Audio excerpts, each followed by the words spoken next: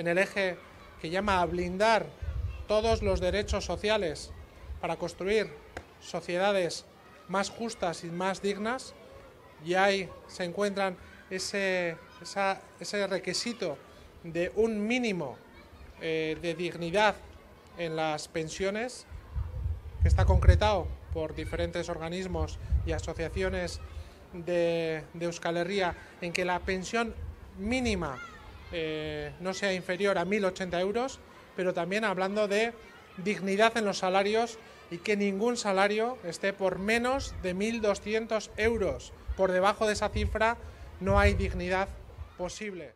Vamos a ser más, vamos a ser más determinantes para llevar a nuestro pueblo, a nuestra sociedad, a la sociedad vasca, a un estatus de mayor autogobierno, de mayores libertades, de mayores derechos sociales, en definitiva, de mayor dignidad.